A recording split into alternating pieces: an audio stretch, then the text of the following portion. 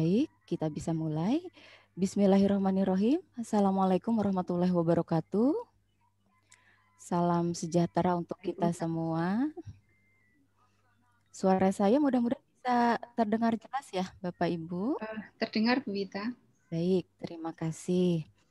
Uh, kami hormati Bapak Dr. Heru Yanto selaku narasumber pada guest lecturer siang ini yang saya hormati dosen-dosen Departemen Manajemen, khususnya adalah tim teaching dari mata kuliah MSDM. Tadi saya lihat sudah Bu Anggra ini, kemudian Bu Rahma, Bu Linda, dan mungkin juga nanti akan menyusul Bapak Ibu yang lain. Dan juga yang saya banggakan, para mahasiswa peserta guest lecturer series eh, pada sesi siang hari ini, dan juga tak lupa kepada panitia. Alhamdulillah Rabbil Alamin, siang ini kita kembali bisa berjumpa dalam uh, ruang virtual untuk uh, mendiskusikan, mendengarkan materi yang sangat menarik ya. Jadi teman-teman juga sudah melihat di uh, background-nya bahwa uh, hari ini kita akan uh, mendengarkan uh, apa namanya materi yang akan disampaikan oleh narasumber kita yaitu Bapak Dr. Heru Wiryanto. Uh, terima kasih Pak Heru hatur nuhun pisan sudah berkenan sami, hadir sami, di siang Bu. hari ini.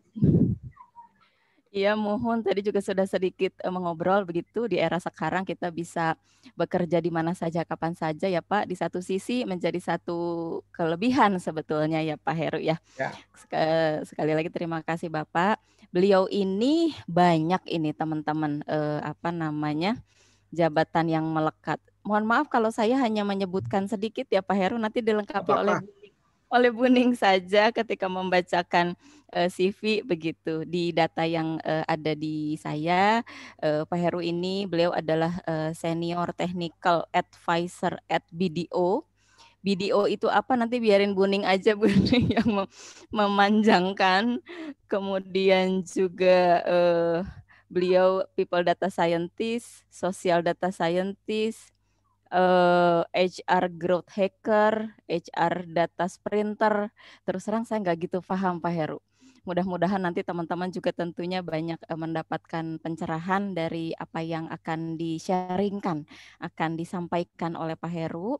Karena memang topik kita ini sepertinya memang sangat sangat eh, apa namanya sangat relevan dengan eh, kondisi saat ini teman-teman ya adik-adik mahasiswa. Jadi topik yang dipilih adalah building HR data driven mindset begitu. Jadi eh, mudah-mudahan kurang lebih dalam dua jam ke depan eh, kita sama-sama bisa mendengarkan dari apa yang akan disampaikan oleh Pak Heru. Tentunya beliau sangat eh, apa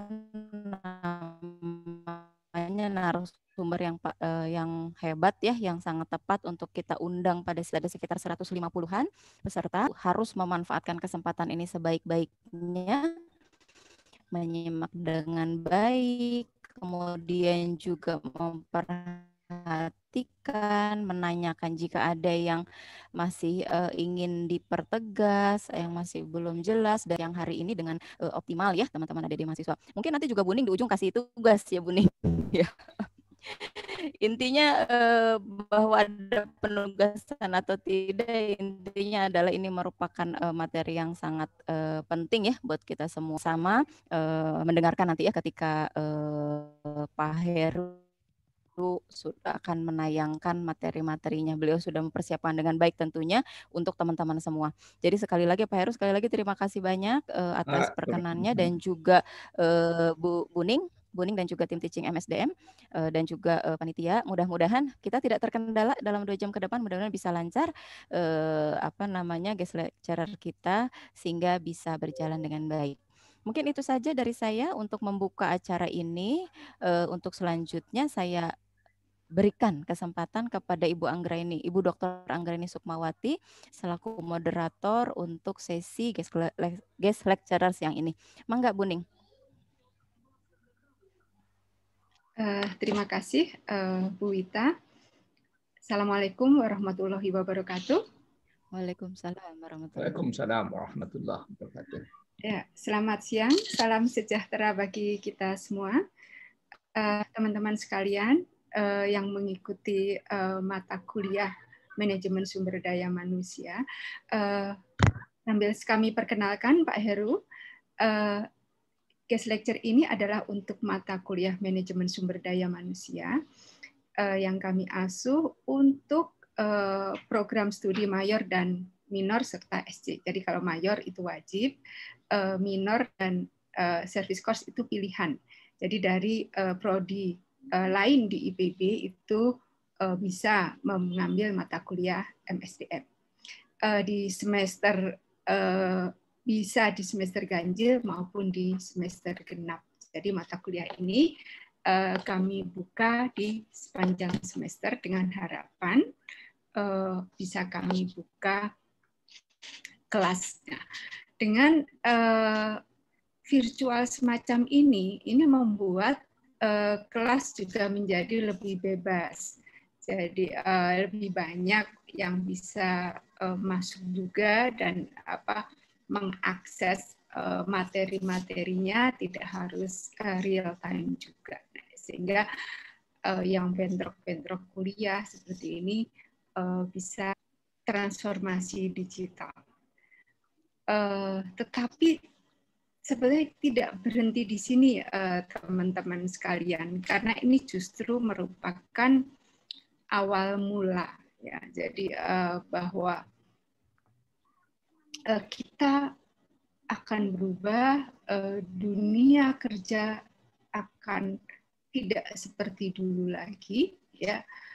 Sebetulnya ini sudah dirancang pandemi COVID-19 ini, sehingga uh, ke depan ada uh, de, uh, rilis di apa uh, World Economic Forum ada ratusan bahkan ribuan pekerjaan akan hilang, tetapi akan tumbuh ratusan dan ribuan juga pekerjaan baru yang diperlukan. Sehingga diperlukan reskilling karena kita menghadapi new model uh, work design. Nah, ini sehingga uh, kami merasa penting untuk mengintegrasikan mata kuliah MSDM. Jadi namanya sih tetap MSDM, tetapi kontennya uh, yang uh, kita perkaya dengan pemahaman uh, digital dan pemanfaatan big data di bidang MSDM. Untuk itu kami mengundang Bapak Dr. Heru Wiryanto untuk sharing dengan kita semua terkait dengan topik ini. Sehingga kami rasa Pak uh, Heru sangat tepat untuk uh, memberikan uh, materi yang kita butuhkan pada saat ini. Sehingga juga ekspertis, pengalaman beliau ini akan memperkaya ya kita semua dengan terutama karena beliau praktisi, beliau juga konsultan, sehingga ini sangat penting. Nah, baik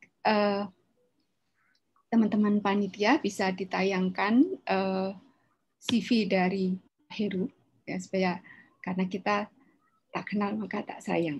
baik teman-teman. Jadi uh, Pak Heru ini adalah tadi uh, senior technical advisor video, jadi merupakan people data scientist beliau dan coffee home brewer. Wah, kalau soal coffee saya setuju banget Pak Heru. Dan beliau SR Growth Hacker. Wah, ini apa? Nah, nanti bisa ditanyakan. Dan ini HAT ya, Catering ya. Owners. Uh, beliau lulus dari Unpad uh, tahun 19 89. Ini ada yang belum lahir ketika Pak Heru lulus. Nah, ini ada memang ini adalah generasi penerus kita Pak Heru ya. Sehingga ya. ini apa namanya uh, transfer of knowledge dan juga tidak hanya knowledge apa namanya hal berikutnya adalah integritas attitude itu apa namanya sangat penting ya kita transfer untuk generasi penerus kita dan juga beliau uh, lulus dari uh, magister UI untuk IO psikologi dan IO IO psikologi ya Pak. Ya. Kemudian dan pengalaman beliau sangat banyak. Uh, beliau uh, bermula dan mereka dari uh, senior psychometrician sampai sekarang.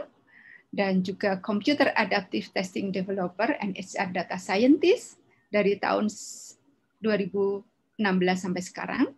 Dan juga data mining dan psychometric advisor uh, dari 2016 sampai saat ini. Dan senior technical eh, advisor di BDO dari tahun 2018 hingga saat ini. Nah, dengan pengalaman beliau tentu apa namanya mengemasnya dalam waktu 40 menit ini uh, sesuatu yang tidak mudah ya Pak ya. Uh, sebenarnya kami ingin apa namanya dua jam sih Pak apa namanya full tapi nanti akan melelahkan Pak Heru ya nanti ya. saya juga memberikan ruang uh, bagi teman-teman untuk uh, banyak bertanya. Betul. Baik untuk itu kami persilahkan Pak Heru uh, menyampaikan materinya. Terima kasih. Baik, uh, selamat siang rekan-rekan sekalian. Assalamualaikum warahmatullahi wabarakatuh. Waalaikumsalam. Uh, terima kasih Bu Anggraini, Bu uh, kemudian uh, ibu-ibu Bu Wita dan lain dan teman-teman di uh, Departemen Manajemen Departemen Manajemen di IPB atas undangannya. Maaf saya uh, saya ini tadi karena pengikutnya banyak milenial dan saya banyak bergaul sama teman-teman di startup. Jadi kalau pakai baju yang agak formal tuh justru diketawain jadi saltum gitu ya. Biasanya mereka pakai kaos kayak begini nih, gitu ya. Santai pak. gitu ya. Jadi uh, apa? Uh, mungkin kalau teman-teman di nah, mahasiswa mungkin udah biasa.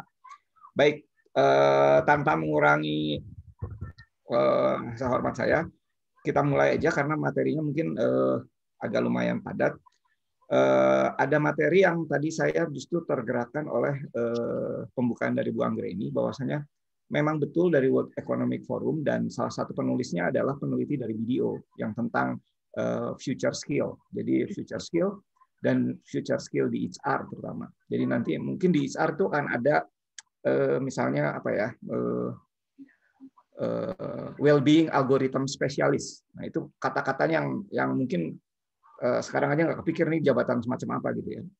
Kemudian eh, pekerjaan-pekerjaan yang sifatnya rutin, eh, misalnya saya saya sudah tidak melihat lagi ada di situ misalnya industrial relation specialist itu udah hilang gitu ya. Jadi pekerjaan-pekerjaannya memang pekerjaan-pekerjaan yang ke depan sehingga kita di BDO itu punya yang namanya satu program nanti namanya skill revolution. Jadi gimana kita upgrade skill untuk future skill. Ya. Oke, saya mulai dulu dari sini. Maaf, ini karena tadi ter, terpicu dengan eh, apa pemikiran dari Bu Anggra ini, saya coba ambil dari dari presentasi yang lain dulu, nanti baru saya masuk ke mindset.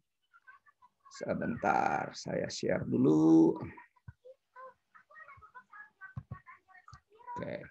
Kelihatan ya teman-teman? Ya Pak. Kelihatan ya? Kelihatan. Kelihatan ya.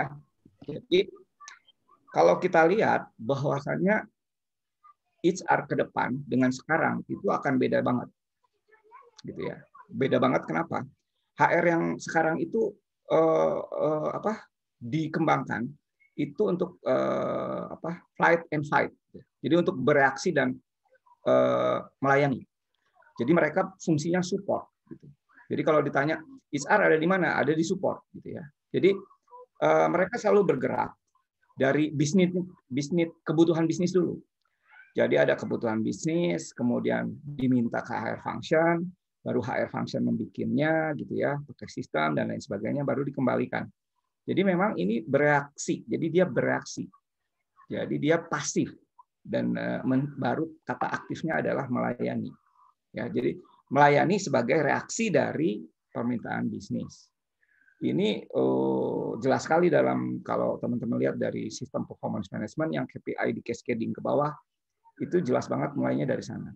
Nah, justru HR ke depan itu terbalik.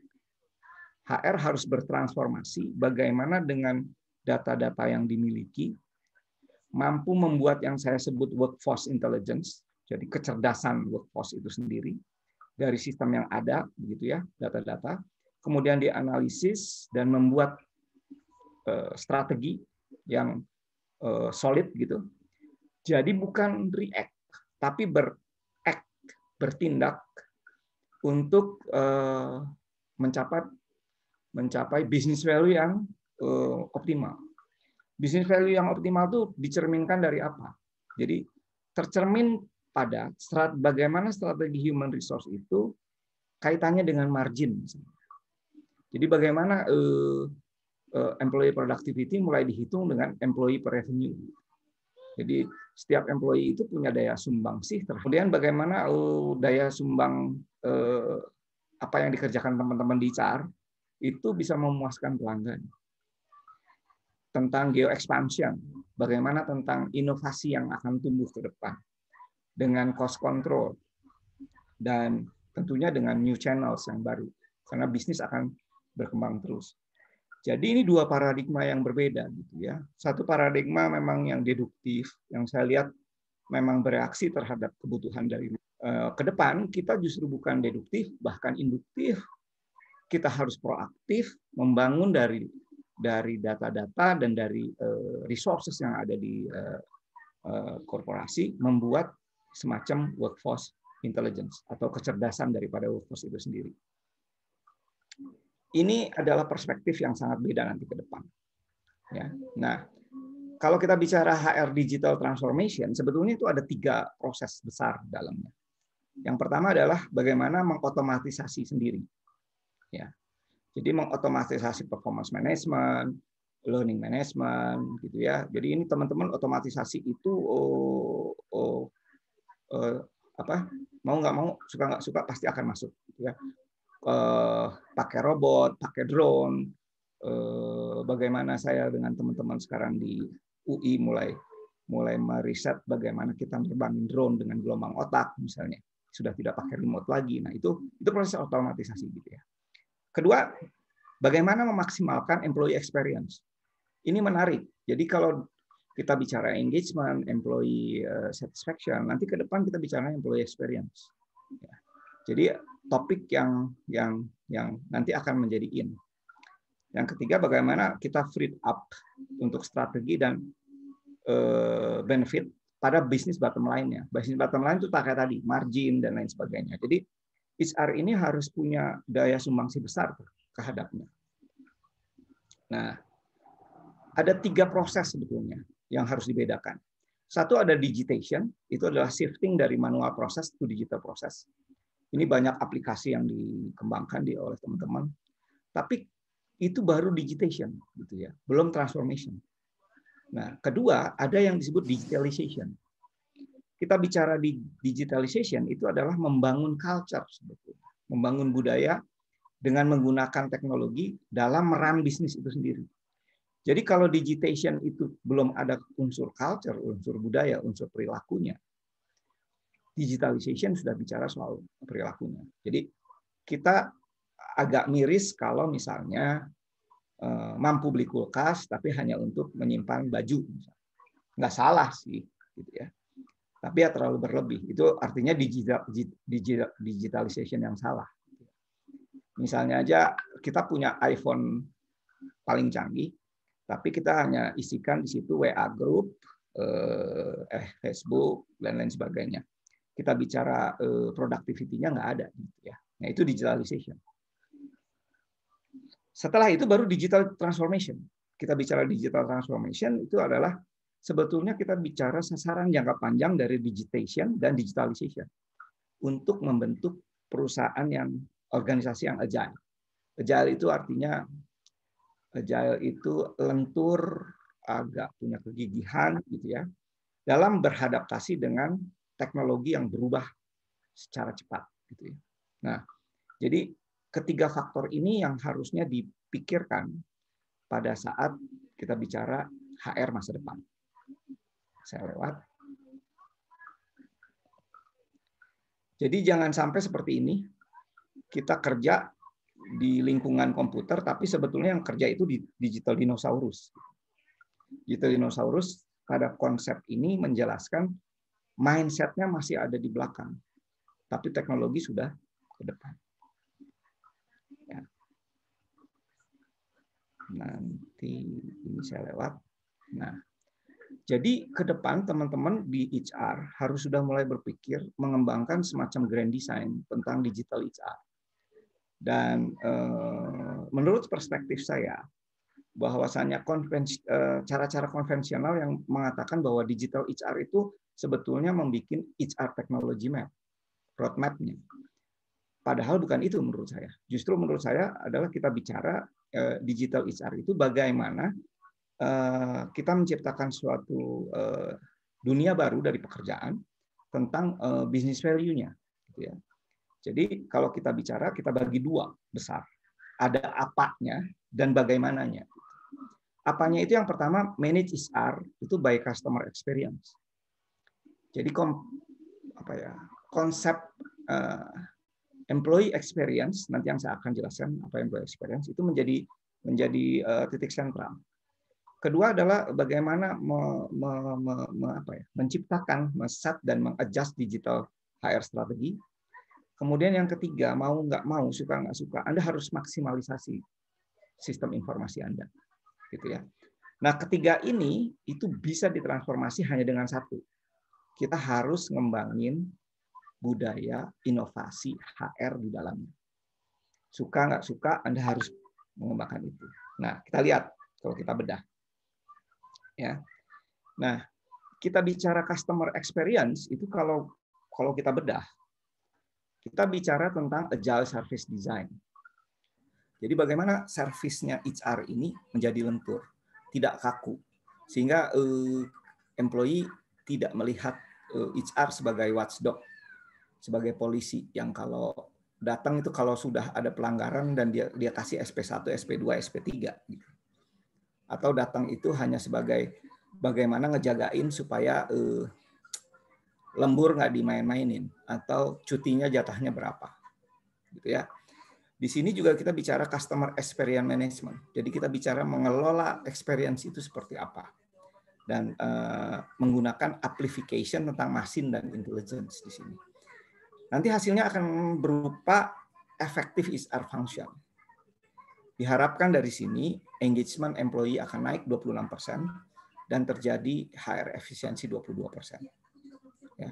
Yang kedua adalah uh, skill based organization work jadi yang pertama network and collaborations. Ini eh, teman-teman nanti kalau di IPB eh, mau belajar, ada yang menarik adalah selama ini MMS, MSDM itu eh, berfokus pada data-data yang sifatnya atribut. Jadi contohnya data-data atribut itu adalah data usia, data talent, data performance, data apa lagi ya, data potensi, data pengalamannya, data ya, seperti itu ke depan justru network dan collaboration yang saya, saya sebut data relational itu menjadi penting. Ya. Jadi siapa berkolaborasi dengan siapa. Nah ini nanti akan muncul nanti ke depan eh, kita bicara modal sosial atau social capital atau kita bicara social intelligence. Jadi eh, kritik saya pada talent management yang sekarang ada, misalnya ada orang yang talentnya itu sudah ada di star, bagus banget tetapi dia tidak memiliki eh, network yang baik secara sosial, itu akan mengalami eh, stagnasi. Sebaliknya orang yang mungkin biasa-biasa tetapi dengan network yang baik itu akan menjadi eh, hal yang positif karena ketarik dengan networknya itu sendiri. Kedua skill management, perubahan dengan skill management akan ke depan akan menjadi kuat, terutama dengan masuknya robotik dan kecerdasan buatan Kemudian leadership-nya juga menjadi network. Jadi eh, saya punya istilah eh, mengembangkan transformasi digital leadership itu eh, semacam transformasi dari ego sistem to ekosistem. Ekosistem itu kita bicaranya ego. Jadi diri jadi kalau kita kan managing self, managing others, kemudian managing division dan lain sebagainya. Tapi kalau kita bicara manajemen ekosistem, dari sejak awal kita bicara tentang keterhubungan antara satu dengan yang lainnya. Ya, bagaimana ekosistem itu menjadi eh, apa? menjadi power untuk eh, saling mempengaruhi. Nah, ini akan membentuk yang disebut agile organization dan diharapkan akan menaikkan eh, productivity sekitar eh, 9%. Kemudian yang ketiga, di new area fokus untuk HR ke depan dan ini merupakan eh, grand design saya kalau di BDO eh, mengembangkan HR masa depan adalah penggunaan workforce analytics atau people analytics. Yang pertama descriptive analytics, di mana itu penggunaan eh, data visualisasi dan eh, storytelling. Di sini teman-teman bisa belajar eh, kita bicara bagaimana penggunaan data dengan baik, memanfaatkannya untuk mengelola mengconvert dari sebuah data menjadi insight dan insight itu nanti akan dibikin storytellingnya supaya orang bisa mengambil keputusan atasnya dengan baik. Kemudian kedua adalah workforce, workforce planning. Kita kita bicara workforce planning adalah bicara perencanaan tenaga kerja masa depan dengan uh, matematika modeling yang sangat kuat. Dan yang ketiga adalah predictive analytics. Itu adalah bagaimana mempredik yang belum terjadi justru. Jadi ini banyak sekali hal-hal yang bisa kita kerjakan. Ini diharapkan menjadi talent outcome yang menjadi baik. Jadi kita menjadi punya better people decision ke depan. Nah, apa itu HR innovation? Sebentar. Kita bicara HR innovation, culture itu mulai dari behaviornya dulu. Tradisional elemen itu HR spesialis dan dia jadi semacam maaf nih agak kasar compliance guardians. Jadi jagain compliance gitu ya, jagain apa ya, jagain aturan Nah, jadi di sini eh, yang menyebabkan HR itu ya dibenci ya sekaligus disayang gitu. Dibenci ketika mereka jadi polisi, polisinya perusahaan. Disayang ketika eh, menjelang gajian dan eh, dibayar insentif gitu ya. Nah, itu menjadi menjadi, behavior itu akan berubah menjadi cross functional innovator.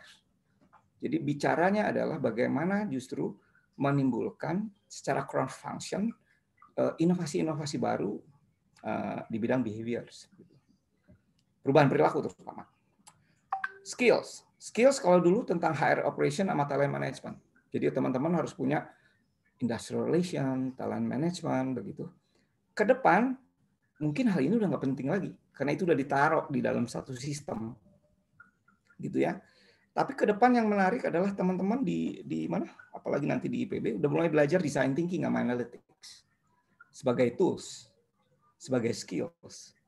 Jadi bagaimana kita ngembangin suatu oh, tadi ya inovasi dengan uh, menggunakan design thinking sama analytics. Tools kalau dulu bicaranya drivernya adalah otomatisasi. Di traditional. Ke depan kita bicaranya anchor of innovation. Artinya apa? mesin atau otomatisasi itu akan stuck pada suatu saatnya, tapi inovasi tidak akan pernah terhenti. KPI-nya kalau dulu kita bicara engagement, penurunan cost gitu ya. Ke depan kita bicara customer eh, apa employee experience atau HR experience dan organization yang agile terhadap perubahan. Community-nya dulu bicaranya HR spesialis. Jadi HR HR itu ngumpulnya di HR spesialis, HR managers dan lain sebagainya. Ke depan community HR itu adalah community yang like mind seperti like minded seperti digital innovators. Ya, jadi oh, kenapa tadi saya pakai istilah HR growth hacker, hackers. Jadi harus punya jiwa hackers juga gitu di dalam di dalam apa membangun HR-nya. Saya loncat aja. Nah ini yang saya maksud uh, employee experience. Jadi kalau kita bicara HR secara keseluruhan, kita mulai dari bagaimana menemukan kandidat, mengapply, mengevaluat dengan desain. Ini sekarang aja, ini saya dengan teman-teman menciptakan uh, machine learning dan aplikasi di sini. Misalnya uh, dulu zamannya saya, zamannya Bu Anggra ini, terus teman-teman, kalau suruh tes jumlahin angka satu koran masih mau gitu. Anak sekarang suruh jumlahin segitu ditinggal nggak mau gitu ya. Tapi kalau disuruh main game, padahal datanya diambil, dua jam justru nanyain lagi, Mas masih ada nggak gamenya gitu. Ya. Jadi di sini engagementnya pun berbeda gitu ya. Jadi muka kemudian uh, menemukan talent kalau kita dulu pakai koran gitu ya. Sekarang mungkin sudah pakai sosial media, apply-nya juga cukup pakai WA misalnya. Nah ini sudah terjadi uh, besar-besaran bagaimana organisasi menciptakan suatu employer branding untuk bisa uh, menciptakan pre-joining yang bagus supaya kesannya bagus, dilihatnya kesannya bagus. Karena kalau kesan pertama sudah tidak bagus akan sulit ke depannya. Kedua, kita masuk ketika dia menjadi within organization di dalam. Dia joinnya seperti apa, dia tumbuh berkembang melalui melalui apa melalui program learning and development di sini kemudian dia mulai berkontribusi ber, ber, uh, berkinerja dengan baik kemudian dia mulai learn belajar eh sorry uh, lima enam nih ya join learn kemudian berkontribusi akhirnya dia berkembang learn di sini juga ada tiga sebetulnya proses learn unlearn dan relearn kalau ini selesai pada masanya dia akan keluar. Keluar artinya bisa jadi eh, long life employment atau dia keluar memang join ke tempat lain. Tapi mau nggak mau dia itu alumni dari kita. Dia jadi ambasador brand kita keluar.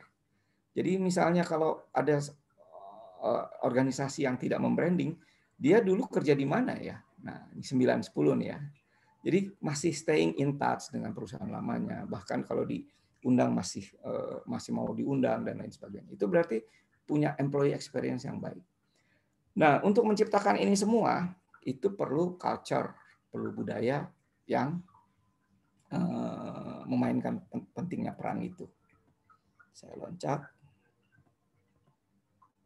Nah, jadi saya simpulkan digital itu bukan software, tapi digital itu mindset. Saya setuju dengan perkataan Aaron Dignan dan digital era itu membutuhkan mindset yang benar gitu. ya. Karena dengan mindset yang benar akan menghasilkan result yang benar. Gitu ya. Nah saya baru mulai masuk ke presentasi saya yang kedua sebentar yang teman-teman udah dapat nanti materi pertama juga saya berikan saya share dulu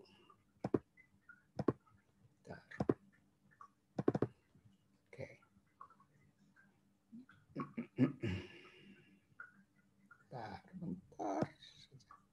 Oh ini di sini. Sip. Oke. Jadi eh, bagaimana kita ngembangin HR data driven mindset? Menyiapkan skill teknologi untuk masa depan untuk mengelola orang terutama. Hmm, saya lewat saja. Teman-teman saya eh, menginspirasi teman-teman untuk nonton film Moneyball. Ini ada di YouTube itu sebetulnya sudah film lama tahun 2011 yang dibintangin uh, sama Brad Pitt. Ya. Sebetulnya itu cerita tentang Billy Jane ya yang di, yang diperankan oleh Brad Pitt. Dia kecewa dengan tim kekalahannya di uh, apa? tim softballnya dan akhirnya dia ketemu dengan seorang matematikawan dan jurusan ekonomi yang uh, apa hebat matematiknya dia membuat suatu apa ya suatu uh, mathematical modeling yang bisa mempekerjakan uh, orang dengan baik, kemudian merumuskan uh, apa uh, semua data tentang pertandingan softball. Dia sebut namanya cybermetric. Dengan menggunakan itu, dia mampu me, apa, transformasi semua resources yang ada di uh, tim itu sehingga tim itu menjadi juara dunia, eh juara kedua di uh, liga softball eh, Amerika tahun itu. Dan yang mereka pakai justru bukan pemain-pemain bagus, tapi pemain-pemain yang sudah pensiun, yang sudah kalau di perusahaan lain, di klub lain itu sudah tidak dipakai. Ya, itu menarik sekali uh, filmnya. Dan itu kisah nyata, bukan film, bukan film uh, imajinasi. Ya. Nah, saya coba bawa film itu ke dalam sebenarnya apa sih yang terjadi di bisnis. Di bisnis itu selalu ada struktur organisasi yang formal, yang seperti di kiri gitu. Yang kedua sebetulnya ada relasi, ya, yang sifatnya sosial. Sifatnya sosial means itu tidak berstruktur, gitu ya. Nah, dan setiap hari di dalam proses bisnis kita selalu berinteraksi sama orang. Contohnya seperti ini dalam rapat. Tapi saya yakin, eh, sorry, eh, kita rapat, kita bekerja sendiri, kita bekerja dengan orang lain, ya. Nah, proses itu semua mengenerate data. Itu menghasilkan data. Tapi sayangnya, data itu tidak sempat kita scrap, kita ambil. Sehingga HRS kita biasanya datanya tentang demografi, sosial, gitu ya, berapa gender, berapa pendidikan lulus, tapi begitu kita tanya apa korelasinya dengan revenue, walau alam bisa gitu. jawabannya. Ya. Padahal pada proses yang saya ceritakan tadi itu menghasilkan data. Contoh, pada saat rapat itu ada data. Siapa yang paling banyak berbicara? Berapa persen? Data ini tidak pernah ada di HRIS dan tidak pernah disimpan. Kemudian interactivity. Siapa berhubung dengan siapa? Berapa persen? Konteksnya apa? Ini juga tidak ada. Padahal interactivity ini justru yang memperlihatkan terjadi bottleneck ada di mana. Ya, data ini sekali lagi tidak disimpan. Kemudian individual behavior dari jam ke jam, dia pakai apa, pada jam kapan, konvergensi matanya seperti apa. Itu data-data juga. Tapi kita tidak menyimpannya. Belum lagi pitch and volume. Jadi ketika kita bicara dengan orang lain, itu selalu ada tekanan, juga ada volumenya. Kalau di Jawa Barat mungkin agak susah contohnya ya. Kalau Jawa Timur itu bicara cok gitu pertemanan. Tapi kalau ditambah dan depannya jadi janco, ah itu pitch volumenya udah rubah. Itu bisa kita di pukulin orang tuh eh, hanya dengan pitch volume yang eh, berbeda. Jadi saya melihat ketika bicara oh, ketika dalam suatu tim itu orang-orang menghasilkan data. Sayangnya data ini tidak pernah di-generate dan tidak dikorelasikan dengan pencapaian sesuatu eh, apa, eh, pola tertentu di perilaku. Ya, kita sibuk hanya dengan mengumpulkan data-data tadi berapa jumlah laki, berapa jumlah perempuan, berapa jumlah jam training yang diikutin, ya, seperti itu. Nah, HR ke depan itu nggak bisa nggak bisa nggak bisa berbasis good feeling gitu, atau istilahnya apa ya, pakai intuisi gitu ya, nggak bisa. Karena tahun 19, 1900 itu profesional HR, strategic HR 2000, data driven itu sekarang Ya. Kebayang aja kalau misalnya pilot pesawat terbang, itu kalau terbang itu hanya dia percaya hanya Tuhan nama dashboard. Dashboard isinya data-data. Ya. Kalau dia nggak kepercaya sama sama dashboard, ya besok mungkin kalau ada pesawat apa perusahaan pesawat eh, perusahaan transportasi eh, yang menggunakan pesawat dengan tag fly by feeling, saya yakin teman-teman nggak ikut. Nanti pilotnya di atas nih feeling saya mengatakan di bawah tuh Medan gitu. Tahunya tahunya Padang gitu. Ya. tapi dia masih ber, ber, bersyukur berarti bisa ma, ma, masih bisa makan Padang katanya di sana gitu ya nah itu jadi nggak nggak bisa seperti itu ke depan ya jadi bagaimana HR mulai berpikir dari opini yang ada dari gosip yang ada misalnya saya merasa hari eh, akhir-akhir ini bulan ini tuh banyak orang sakit kita lihat datanya. Oh iya ya, absence level itu di bulan ini 12 persen. Itu jadi jadi data. Kemudian kita bandingin, oh absen bulan ini tuh lebih 40 persen naik loh dari bulan lalu. Itu jadi matrix. Karena sudah ada pembandingnya. Bedanya data dengan ukuran itu. Ya. Nah, di sini kita harus sudah ngembangin dengan data driven mindset, pikiran analytics oh ternyata setelah dianalisa datanya disebabkan kebanyakan sakit flu. Dan ini signifikan banget pada bulan ini. Itu analytics. Insight-nya adalah, oh kalau gitu kita perlu vaksin untuk menghindari employee menjadi sakit flu. Nah, jadi bagaimana eh, perilaku mulai dari opinion menjadi suatu pengambilan keputusan analytics sehingga menjadi insight untuk pengambilan keputusan yang tepat. Kebayang aja kalau sekarang nggak pakai data. Jadi insight itu adalah apa? By intuisi. Jadinya trial and error. Dan error karena trial and error karena sebetulnya harusnya jadinya trial right. jadi benar gitu. Kalau trial and error jadi error nantinya.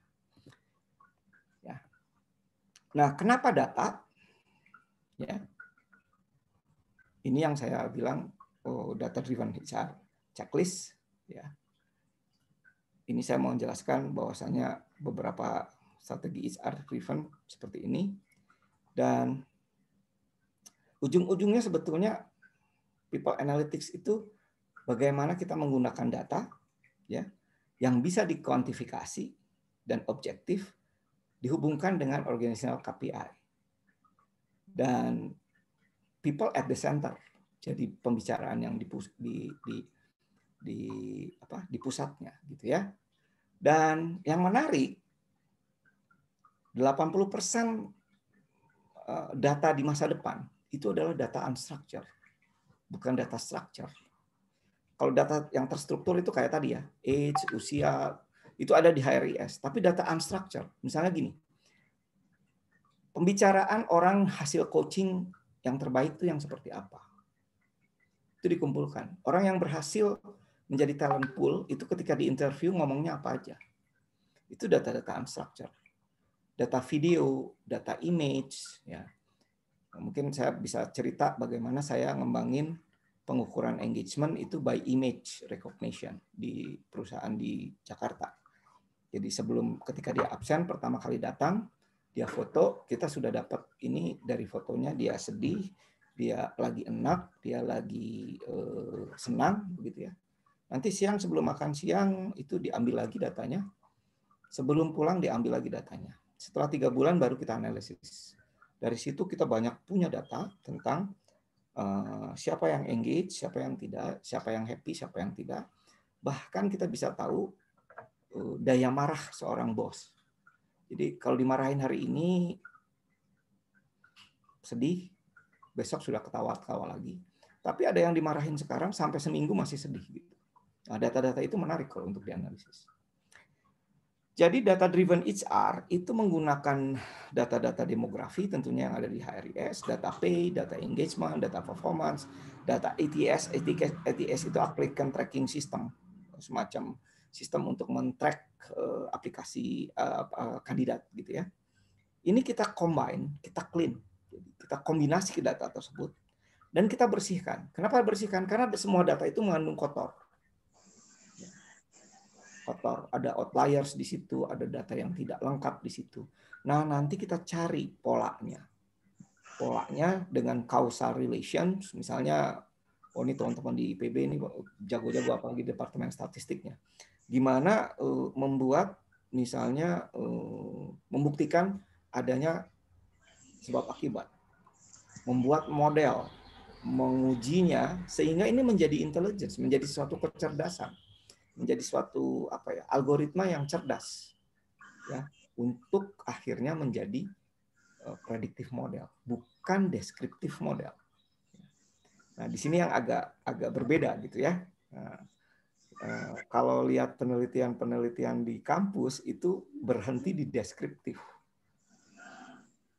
Dia belum belum sedikit sekali yang sudah mulai menyentuh ke prediktif model. Nah, kita bicara fungsi ilmu sebetulnya itu tidak hanya berhenti deskriptif, tetapi dia harus harus mampu memprediksi apa yang terjadi di depan. Ya. Ke depan HR juga akan dibanjiri dengan sensing teknologi. Jadi eh, ke depan tuh teman-teman mungkin yang eh, milenial sudah pakai smartwatch. Nah, datanya itu bisa diambil semua. Jadi dulu dulu 97 tuh seperti ini nih, kebayang. Kalau kita mau ngambil data-data. Ke depan ini sudah bisa pakai uh, apa? Uh, fingerprint analysis, sudah bicara bisa pakai. Kemarin saya dengan uh, uh, satu perusahaan dari Israel itu dia pakai video untuk mengetahui tekanan darah, suhu tubuh, sama heart rate. Itu cukup dari videonya. Karena video ini uh, dia menganggap bahwasanya Eh, cahaya yang dipantulkan ke lewat kulit terus balik lagi ke dalam satu sensor eh, kita bisa menilai berapa aliran darah yang ada terjadi dalam eh, pembuluh darah gitu.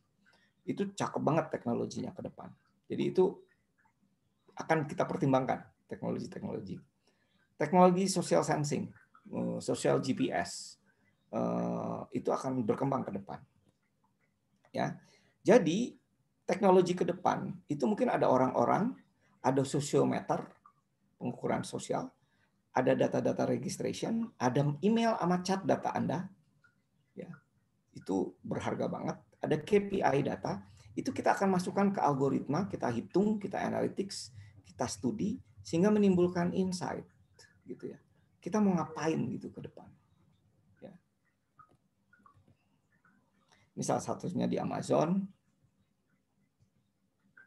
Nah, biasanya kita menggunakan machine learning mulai dari data gathering, data cleaning, sampai menyeleksi algoritma, sampai ke data transformation prediction-nya. Jadi kita hmm, menggunakan eh, pendekatan-pendekatan yang agak beda di dalam nanti melakukan people analytic-nya. Misalnya teman-teman mau bikin apa ya? Saya misalnya kemarin bikin misalnya memprediksi tahun depan orang ini masih berkinerja baik atau tidak itu dengan cara data setnya banyak, mungkin ada 5.000 orang, kita bersihkan, kemudian kita pilih variabel-variabel tertentu, datanya kita bagi dua, ada data training sama data test. Misalnya data trainingnya 70%, kita dekatin dengan learning algoritma. ya. Jadi learning algoritma itu eh, teman-teman sudah mungkin harus mulai buka-buka buku eh, statistical learning. Jadi bukan statistical klasik, tapi statistical learning di mana di situ algoritma itu adalah misalnya contohnya eh, kalau saya punya angka 268 tolong ditebak next itu maka teman-teman akan bisa bilang 26 eh sorry 246 sorry 246 kalau 246 maka banyak yang menjawab next berapa? 8 betul itu kalau algoritmanya n plus 2 tapi boleh juga 2 tambah 4, 6. 4 tambah 6, 10. Hasilnya 10. Bisa juga 2 tambah 4 tambah 6. Karena itu algoritmanya itu. gitu. Nah, algoritma apa yang berlaku, kita harus deketin kepada datanya. Kebanyakan misalnya N plus 2, nah, berarti itu yang berlaku. gitu. Ya. Itu di train modelnya di sorry di train dikasih di, disuruh belajar jadi seperti anak kecil mesin itu dikasih data untuk belajar Nanti kita bandingkan dengan data tesnya. Kalau ini sudah dekat, berarti model ini sudah tervalidasi, sudah bisa memprediksi masa depan. Jadi saya bisa memprediksi misalnya dengan data-data yang sekarang, orang ini performanya akan naik atau turun. Kemudian kemarin saya dapat project lagi dari BDO-nya eh, Afrika Selatan. Kandidat ini akan datang atau tidak kalau mau diinterview. Karena kita udah prepare sejauh uh, apa prepare lama-lama uh, waktu dan resources tahunya nggak datang gitu ya. Nah itu juga bisa. Kemudian uh, orang-orang dengan karakter seperti apa yang bisa masuk ke talent pool? Ya, nah itu itu bisa diprediksi. Belum lagi yang tadi pakai social sensor gitu ya. Uh, untuk well-being untuk kesehatan keselamatan kerja kemarin kita di eh, PT PAL Surabaya kita lagi menggagas karena di sana eh, para eksekutifnya lagi getol-getolnya menurunkan berat badan body mass index dan tidak berhasil kebanyakan gitu ya. Jadi kita ciptakan aplikasi yang kalau pagi itu kita foto makanannya maka ada mesin di belakangnya yang bisa menghitung kalorinya berapa sehingga hari itu dia harus bergerak berapa kalori. Kalau tidak nanti waktu mau pulang dia akan bisa menghitung kalori yang disimpan dalam lemak jadi lemak seperti apa. Ya. Nah yang menarik adalah justru setelah saya kemarin ngumpulin berapa ya data tiga bulan itu justru kita himpulkan makanannya adalah makanan yang tidak sehat. Dan dari situ justru muncul insight kita buka kantin sehat di dalam sehingga si uh, siapa para eksekutifnya itu memang dijaga kesehatannya. Ya, tidak seperti sebelumnya pagi-pagi itu gorengan kemudian nasi uduk tambah teh manis gitu ya. Waduh itu udah berat banget tuh semua uh, kalorinya kalori berat semua gitu ya. Itu salah satunya aplikasinya. Jadi bagaimana kita sebetulnya mengembangkan dari data-data yang kita punya secara digital sehingga kita mampu membuat aplikasinya. Nah ini aplikasinya namanya machine learning kalau teman-teman nanti mau belajar dan uh, saya pikir memang di kampus harusnya sudah mulai masuk gitu. Tidak hanya belajar uh, statistical klasik gitu ya. Uh, sudah mulai di, di, di, dikenalkan ke pendekatan pendekatan seperti uh, machine learning gitu ya. Machine learning itu masuknya ke statistical learning. Ya. Nanti apa yang kita akan hadapi? Yang kita akan hadapi adalah privacy terutama. Ya. Jadi eh, kayak saya di eh, IMERI Institute Medical Research Indonesia di Fakultas Kedokteran UI, kita lagi ngembangin misalnya bagaimana memanipulasi bukan manipulasi, mengengineering gelombang otak gitu ya. Nanti akan akan akan akan berbenturan ini data kesehatan ini siapa yang punya? Siapa yang boleh akses. Kalau patennya ketemu ini nanti kita bisa bisa mengubah orang, maka etikanya seperti apa? Ya. Jadi eh, privacy itu akan menjadi eh, apa? menjadi concern. Teman-teman kalau mau pakai people analytics dan data analytics di HR itu harus punya informed consent. Jadi informed consent itu semacam pernyataan kecil tuh kalau mau lagi masuk masuk Facebook atau Instagram itu ada satu yang harus ditik kalau nggak ditik itu dia nggak kita nggak mau. Itu ada yang tulisnya kecil-kecil bahwa data yang dimasukin itu menjadi milik dia dan boleh dianalisa sama dia. Karena kalau itu digedein kan orang-orang nggak jadi members ya. Nah, jadi kita mulai mengkuantifikasi collaboration juga menjadi peran penting ke depan, mulai dari productivity, engagement, trust, bottleneck yang terjadi, centrality itu menjadi penting. Ini tentang social network. Ya. loncat sedikit. Ini juga aplikasi dari Humanize tentang uh, meneliti bagaimana network itu diukur tentang collaboration. Ini di farmasi. Ini saya yang tadi saya cerita di IMERI di Institute Medical Research Indonesia. Jadi eh, saya sekarang kalau mengakses orang itu sudah tidak pakai eh, tes macam-macam, tapi eh, masih kita masih prototype. Orang ditempelin begini, nanti kita lihat gelombang otak yang bekerja seperti apa. Jadi eh, program yang saya punya dikembangkan di sana ini yang namanya kuantitatif EEG atau QEEG ini untuk mengukur gelombang otaknya kemudian ini untuk mengukur galvanic skin response untuk apa ya detak jantung dan apa cairan yang ada di dalam tubuh. Kemudian di sini adalah untuk res apa penggunaan O2 di dalam darah. Kemudian di bawah di bawah komputer ini ada yang namanya eye tracking untuk ngetrack si eh, apa retinanya ke mana gerakannya. Jadi asesornya di sini memberikan eh, apa ya memberikan perangsangan di sini sehingga dia bereaksi seperti apa. Jadi psikotes masa depan sudah seperti ini gitu ya, udah by simulation. Eh, kita kembangkan di beberapa kementerian termasuk di lab school untuk uh, apa menentukan jurusan dan lain sebagainya. Ini salah satunya uh, digital ke depan. Jadi teman-teman ke depan jangan alergi dengan statistik. Tolong diingat nanti kalau nanti Bu Anggraini sama teman-teman ngejelasin regression itu jangan dilupain ya, kasihan. Mereka udah kerja uh, apa keras-keras karena uh, nanti saya sering nemuin gitu kalau ketika di lapangan Eh, regresi ada berapa? Ya dia jawab hanya linear. Dia nggak nggak ngerti bahwa regresi itu ada logistik, ada Poisson dan lain sebagainya.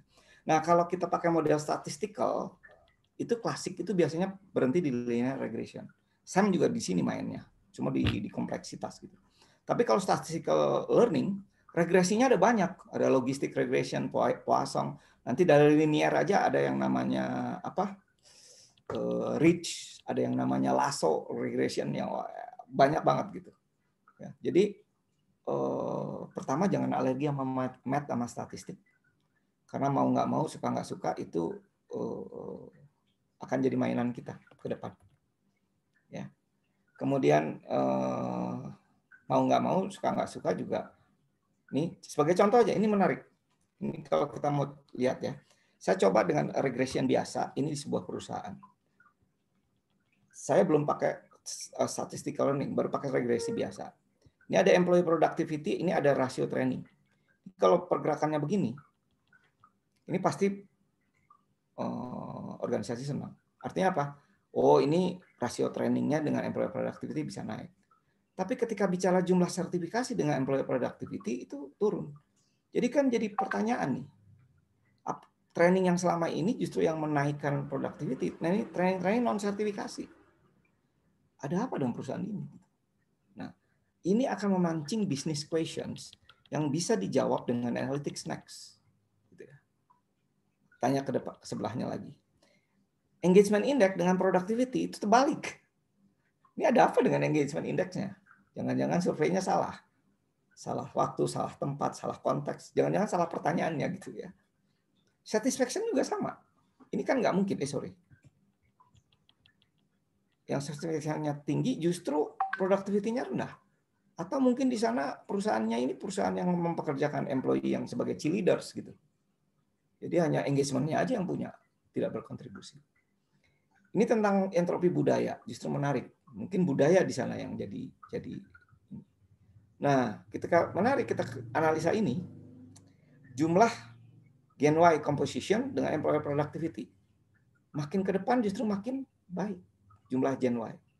Tapi Gen X itu justru berbanding terbalik ya, dengan Gen baby boomer ya. Nah pertanyaannya adalah yang sekarang lagi berkuasa kan Gen X ini ya jadi jangan-jangan ini yang membuat perusahaan ini menjadi turun gitu ya. Harus cepat nih uh, uh, Gen Y bisa mengambil alih. Jadi isu leadership jadi muncul. Dan ini lebih penting daripada bagaimana menampilkan data ini. Gitu. Orang-orang HR harus mampu membuat tadi yang saya sebut story data telling. Cerita di balik ini semua gitu ya.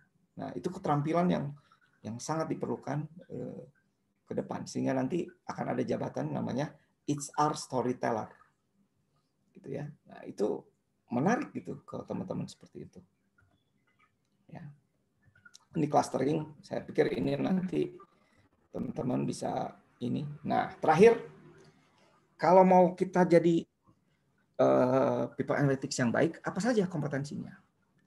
Pertama, teman-teman, di organisasi itu harus punya good data dulu. Kalau nggak punya good data, udah deh jangan cerita tentang analytics, jangan cerita tentang digital. Ya. Mungkin jadi perusahaan museum aja. Eh, museum juga pakai data, bahaya kalau nggak.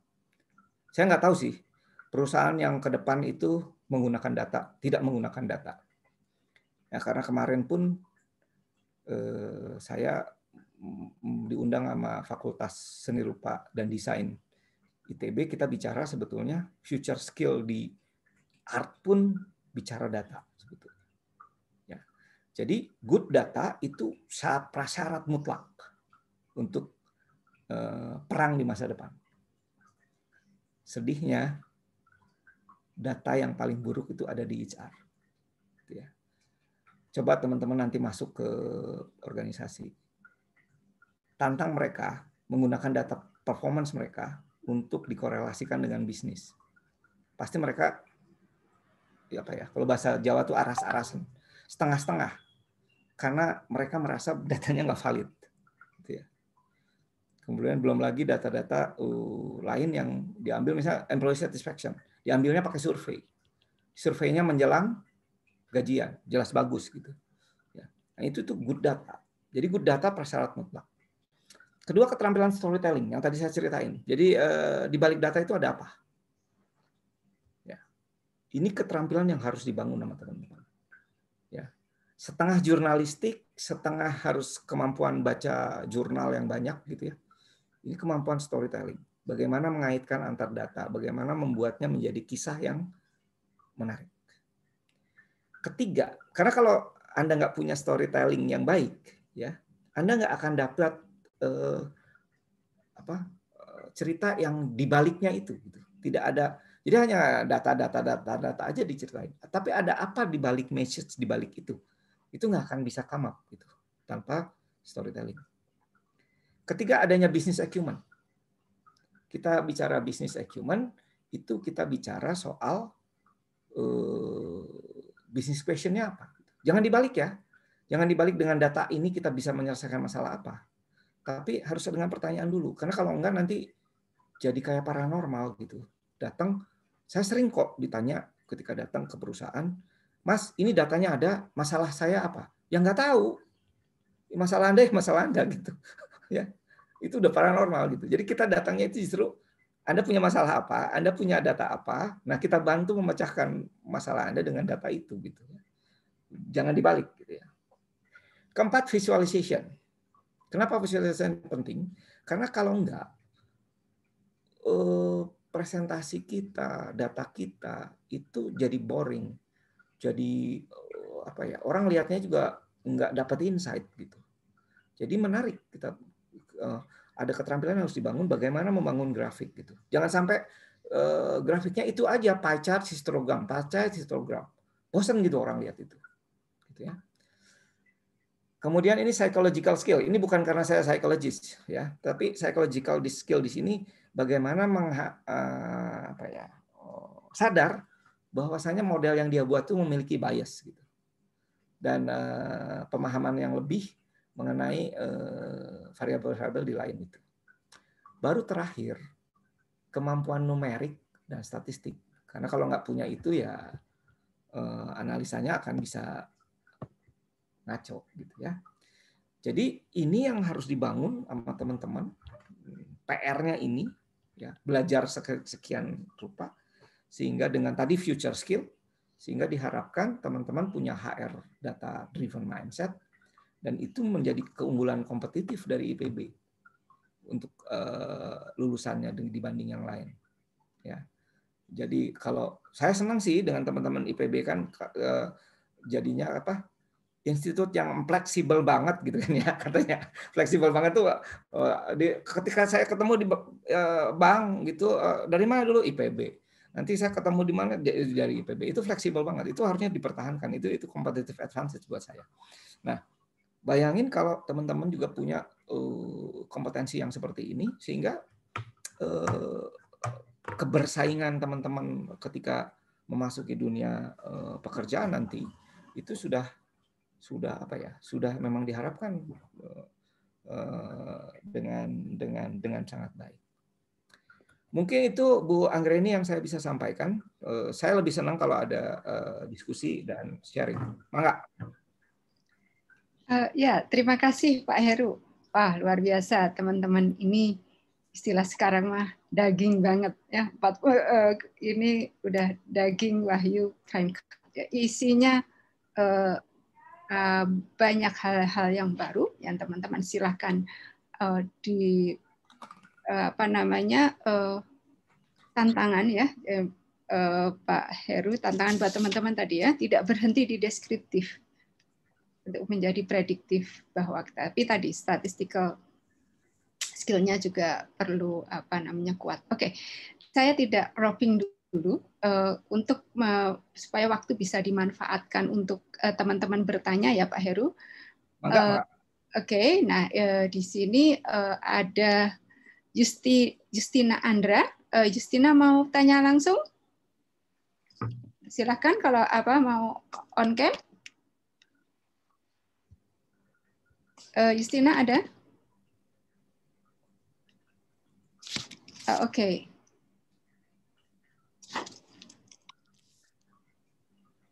Uh, silakan panitia bisa dibantu uh, Justina atau ibu oke okay. atau ibu bacakan oke okay. uh, jadi pertanyaannya bagaimana keterkaitan HR dan bisnis acumen dalam menjalankan suatu bisnis secara uh, lebih spesifik pertanyaan keduanya dan bagaimana membangkitkan skill bisnis acumen agar lebih peka terhadap kemajuan perusahaan baik jadi bisnis bisnis acumen itu kalau saya prasyarat mutlak orang HR untuk uh, apa bisa maju. Ya. Jadi HR kalau saya istilah saya adalah jangan jadi katak dalam tempurung. saatnya katak menggempur tempurung. Jadi kita gempur tempurung itu sehingga hancur, sehingga kita bisa keluar. Jadi bukan bicara soal rekrutmen, selection, ER, tapi dia mengerti banget bisnis ini apa sih sebenarnya. Ya, karena kalau kita bicara rekrutmen ya kita akan bicara itu itu aja. Tapi kalau kita bicara misalnya eh, pabrik es krim jualan di musim dingin, ya itu tidak punya bisnis acumen jelas gitu. Ya, saya justru uh, senang dengan dengan mengapresiasi banget teman-teman yang yang apa di startup. Di startup itu banyak uh, bisnis acumen baru yang sangat agile, sangat sangat apa ya, sangat sangat baru dan uh, rangsangan inovasinya menjadi menjadi sangat tinggi. Sehingga kalau saya bilang hmm, bisnis acumen itu harus ditingkatkan, ya teman-teman memang harus mengasahnya itu di dalam di dalam konteks bisnis. Gitu. Bahkan banyak mungkin ilmu yang yang apa ya, yang tidak didapatkan uh, justru di, di di di perkuliahan. Ya, saya selalu bilang menarik kok. Coba kalau teman-teman di, di bangku di perkuliahan, kita belajar selalu model itu linear. Distribusinya normal. Kayaknya asik-asik aja gitu. Ketika Anda ke lapangan, jatuh ke lapangan, distribusinya tidak normal gitu. Datanya nggak linear gitu. Susah gitu. Yang paling simpel gini deh. Kita diajarin di kampus. Saya sering-sering ngeritik, ngeritik gitu. Waktu di psikologi saya dijejelin eh, teori-teori itu adalah teori-teori yang rasional. Sangat rasional ya masuk akal. Tapi ketika saya tanya, Anda harus menjelaskan bagaimana orang membeli. Orang membeli itu perilaku konsumen, 80% itu irasional. Bagaimana kita menjelaskan sesuatu yang irasional dengan pendekatan yang sangat rasional? Itu menjadi sesuatu yang tidak mungkin. Gitu ya. Nah, maka dari itu saya memang tertarik misalnya dengan eh, pembicaraan-pembicaraan tentang neuroekonomi terakhir ini ya bagaimana sebetulnya otak orang menjadi bias gitu loncat dari rasional ke irasional dengan hmm, sangat mudah gitu begitupun dengan bisnis acumen jadi bisnis acumen itu kalau nggak dijalanin kita nggak dapat gitu. Ya. Makanya eh, kemampuan teman-teman di mahasiswa untuk membangun misalnya entrepreneurship ya. Saya kebetulan sama Pak Pak Dwi Purnomo di Unpad yang saya nggak tahu Pak Dwi itu S2-nya di IPB kalau nggak salah. Di pertanian sekarang dia jadi wadek kalau nggak salah. Atau wadek ya. Nah itu justru bagaimana kita, saya ngebantuin Pak Dwi itu eh, bikin program yang eh, apa eh, untuk mahasiswa-mahasiswa yang PhD, PhD tapi PhD-nya bukan dokter Bu ini. Pas hampir DO. Jadi PhD-nya. Kirain. Pas hampir DO ya. Nah, itu menarik buat saya sama Pak Dwi. Kenapa? Saya merasa tertantang. Kalau mahasiswa yang IPK-nya tiga setengah, 3,7 itu udah pasti diserap pasar. Tapi kalau mahasiswa yang pas hampir DO ini, nah ini mau ke mana ini? Ya. Nah kita masukin ke inkubasi bisnis, di situ kita latih kreativitas, kita latih eh, tadi ya kreativitas, inovasi. Maka keluarlah misalnya ide jualan eh? Susu etawa dicampur dengan transfer factor. Sehingga muncullah eh, susu dengan ekstragen tinggi dan laku di Bandung. Gitu ya. Nah, itu bisnis acumen gitu yang saya maksud ya. Ya, jadi bagaimana justru orang dalam kondisi kepepet gitu ya, eh, creativity dan inovasinya keluar gitu. Ya. Jadi misalnya banyak sekali di yang bisa kita kerjain di di, di tadi bisnis acumen. Jadi teman-teman itu keterampilan yang memang susah untuk untuk untuk kalau diceritain secara teoritik susah gitu ya. Harus memang diterjunin gitu ke dunianya. Baru teman-teman mungkin oh iya ya. Sehingga Eh, aktif di mahasiswa, aktif di kelembagaan mahasiswa itu gunanya untuk itu gitu, untuk ngelatih itu gitu sebelum nanti terjun di lapangan yang asli. Mungkin itu jawaban saya, Bu Anggri. Oke. Okay. Uh, baik, uh, terima kasih. Uh, kemudian ada pertanyaan dari uh, ini dari Ardela Ardela Maharani uh, ingin bertanya, Bapak belajar programming dan machine learning, uh, sedangkan tidak sama dengan latar belakang pendidikan Bapak. Nah, apakah dapat memberikan tips bagaimana belajar programming untuk pemula dan software apa yang digunakan? Baik, ini pertanyaan yang baik. Passion saya memang di passion saya di elektronik dan di uh, komputasi. Itu saya saya psikologi itu berobat jalan sebetulnya, bukan kuliah itu.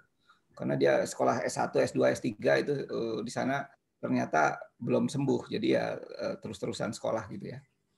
Tapi passion saya di komputasi sebetulnya memang. Uh, jadi uh, uh, saya tertarik sama math, math matematika dan statistik. Nah, uh, ketika sudah di udah jadi uh, di atasnya ilmu psikologi ini pasti ada sesuatu nih yang saya bilang kurang ya. Nah kebetulan saya uh, berkesempatan berkenalan dengan Profesor uh, John Rush dan David Stilwell di uh, Cambridge Psychometric Center. Dia ngembangin yang namanya tadi machine learning dan lain sebagainya ya bayangin teman-teman atau mbak penanya saya itu belajar programming terutama untuk uh, machine learning itu di umur 49 tahun jadi saya kalau ditanya belajar R dan belajar Python itu di umur 49 tahun. Pasti pertama-tama tertatih-tatih gitu ya. Ini ini wah ini binatang apa nih gitu ya. Tapi karena karena passion karena passion terus berlatih tiap hari tiga jam gitu. Eh, itu dengan sendirinya kompetensi akan muncul. Gitu ya. Jadi kalau mau belajarnya dari mana, R dan Python, universitasnya itu Google universitasnya Google, kursusnya online. Ya. Dan nanti pertandingannya ada di hackathon gitu. Jadi benar Google gitu. Ini yang mungkin agak menyedihkan juga nih saingannya nanti IPB. Google sudah mendeklar dia akan bikin coders, coding, ahli program artificial intelligence itu hanya empat bulan, yang setara dengan D4 kebayangkan tuh, program kalau laku cilaka tuh Pro, uh, apa eh, program-program vokasi nantinya. Nah, jadi teman-teman mungkin itu yang saya bilang uh, belajarnya ya jangan belajar dulu, tapi kuatkan passionnya gitu. Apa ya? Bukan kuatkan. Tetapkan dulu kalau mau belajar machine learning. Ya, memang ini passion saya gitu ya. Nanti kalau udah di dalam kok kayak gini ya gitu ya gitu nanti jadi jadi nyesal gitu ya kalau saya sih eh, itu panggilan hati nggak gitu nah kalau passion itu kalau saya panggilan hati kalau udah panggilan hati stres juga pasti dinikmatin gitu ya tapi kalau nggak panggilan hati yang enak pun masih nggak enak gitu. Masih gerundal gitu di hatinya itu masih bilang ini bukan gue banget gitu ya kalau anak sekarang gitu ya itu bukan gue banget gitu nah itu itu tanda-tanda bahwasanya Anda nggak akan nggak akan apa istilahnya nggak akan jatuh cinta gitu. Nah, jatuh cinta itu kan katanya kalau kata teman-teman di neurologi itu kan mengalirnya dopamin ke otak. Ya. Dopamin ke otak dengan nanti perasaan bahagia, kemudian muncul oksitosin. Nah, oksitosin ini adalah perasaan apa ya? Eh, untuk ingin mendalami lagi lebih dalam gitu ya. Nah, kalau secara metabolisme itu tidak terjadi ya tadi ini bukan passion saya gitu, nggak di situ gitu ya. Akan susah gitu nanti belajar Python-nya juga ini apa sih ini eh, programming gitu ya. Tapi jangan khawatir. Saya belajar eh, basic dan basic ya, basic COBOL Fortran itu melelahkan sangat melelahkan. Karena kita belajarnya adalah eh, apalagi C++ gitu ya. Jangan khawatir untuk machine learning dan untuk uh, predictive analytics. Itu bahasanya justru di atas itu. Bahasanya adalah functional programming. Jadi sama dengan Excel lah. Kalau jumlahin itu sum. Kalau regression itu cukup dengan dua huruf LM, linear model. kalau dia pakai eh, apa eh, binomial, lm-nya hanya ditambah type binomial. Nah, gitu ya. Jadi bukan yang if then else seperti itu gitu. Harus nest gitu. Ada isi seperti itu cuma loopingnya juga paling banyak tiga atau empat kali. Jadi jangan khawatir eh, apa hmm, eh, dengan hal itu. Dan ini yang mengembirakan sekaligus membuat ciut kita Eh, Microsoft dan Google itu lagi mengembangkan suatu algoritma yang namanya OpenAI. Nah, OpenAI ini asalkan teman punya data aja, masukkan ke mereka, mereka akan membuat suatu kesimpulan. Kalau eranya itu udah datang, nggak perlu programming. Tapi kita harus punya data dan mampu membuat storytelling tadi. Kalau itu eranya sudah sudah sudah hadir di kita. Justru teman-teman shifting udah mulai shifting lagi, mulai reskill up, mulai skill revolution ke arah tadi uh, storytelling dengan pemanfaatannya. Nah kalau itu mungkin saya bilang ilmunya udah lain, udah bukan matematika, udah bukan programming lagi gitu ya. Jadi jangan khawatir lah. Kalau saya bisa belajar programming umur 49 tahun, teman-teman yang masih muda ya harus lebih semangat lagi. Mungkin itu Bu Anggreni.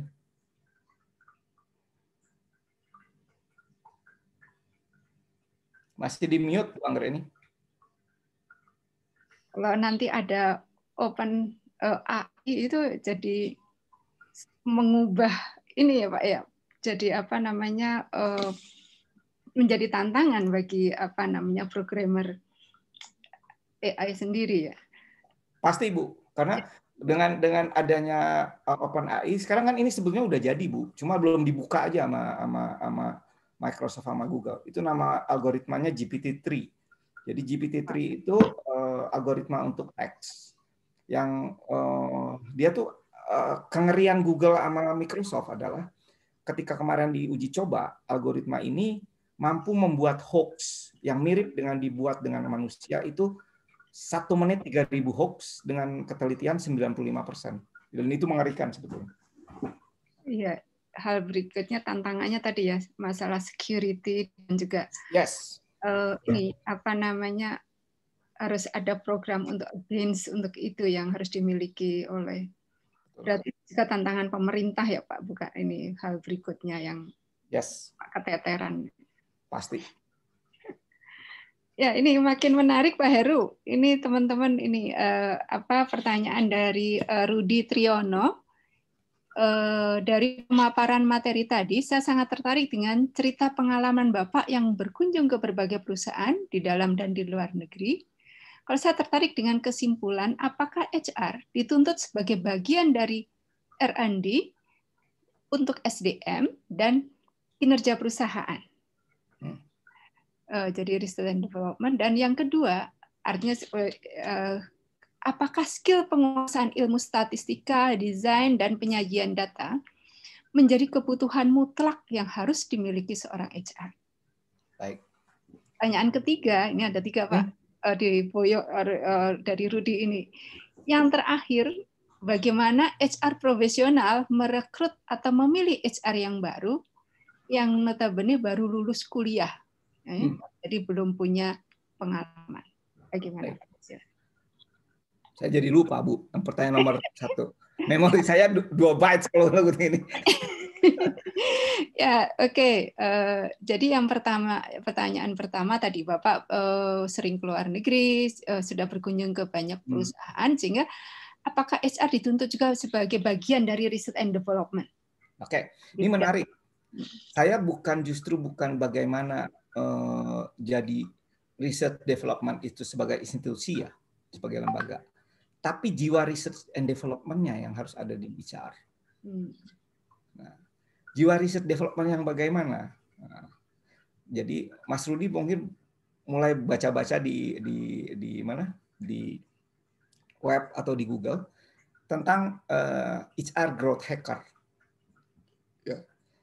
Jadi bagaimana seorang HR hacker itu hacker tahu ya hackers itu kan Eh, dalam pengertian positif ya, bukan hackers yang negatif.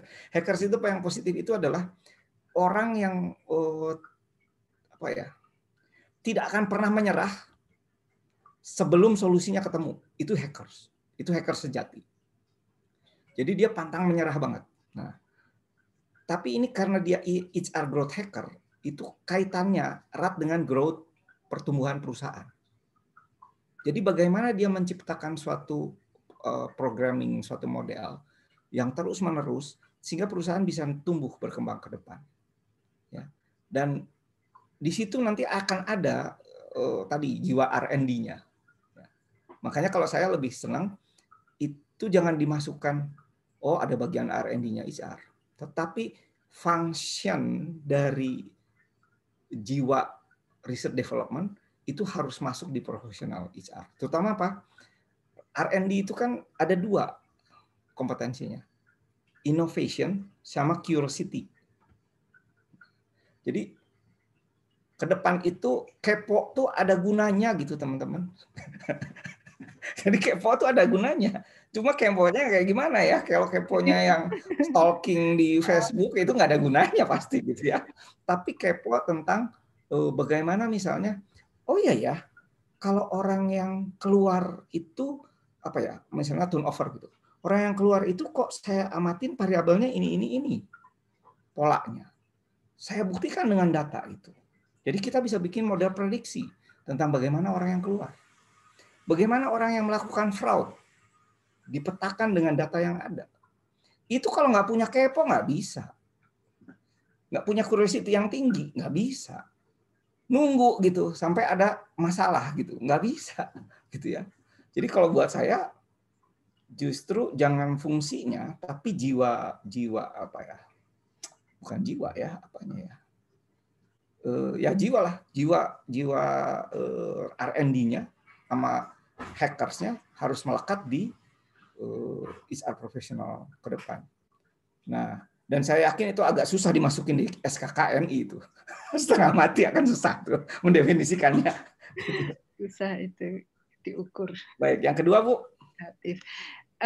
Oke okay, ya, yang kedua, hmm, apakah penguasaan skill ilmu statistika, desain dan penyajian data menjadi kebutuhan mutlak yang harus dimiliki HR?